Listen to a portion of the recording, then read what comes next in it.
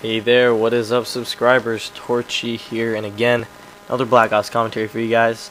This one is a team deathmatch on Nuketown. Um, I think I mentioned in one of my recent videos, I think it was the, uh, it was that game TDM on, uh, oh, what's that map? Firing Range, right?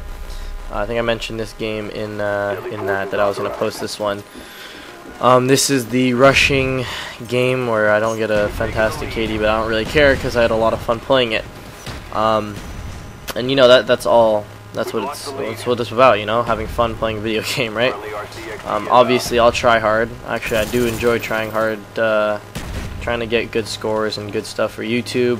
Obviously, and trying to just you know uh, have always have a good game. You know, I always want to just like put on my best um, when I'm playing, but at the same time I do like to have fun.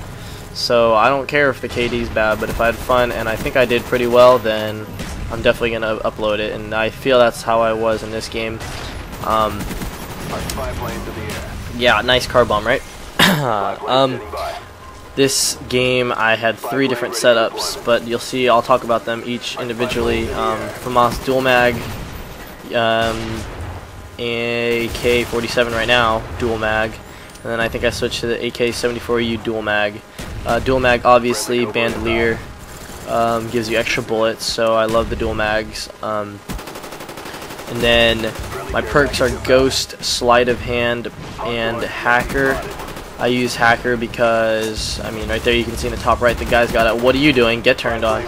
Um, And uh, now I just start going like try hard MLG, jump shot, drop shot, double spray, quad, nade, M napalm, single kill, triple kill, I don't even know. But um, yeah, uh, what was I saying? Hacker, so you can see the claymore, so I can save myself, and triple feed, yeah.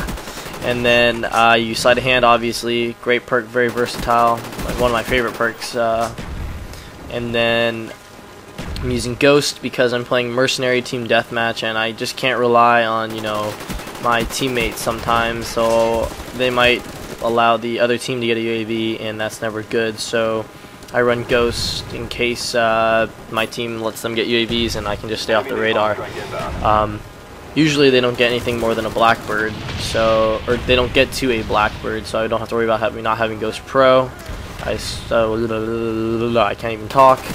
But uh, nonetheless, getting into the gameplay, um, I think my KD in this game is like 2.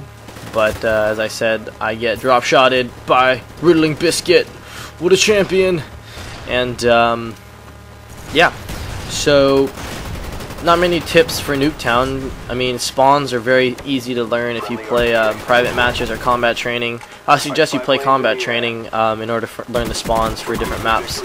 Uh, or play a lot of demolition, you know, play demolition with a team. Uh, try to get a team going. Um, play demolition and you'll you'll learn the spawns. Uh, they're not usually the... Oh, nice nade, nice nade, right? Yes, car bomb! hip fire, hip fire.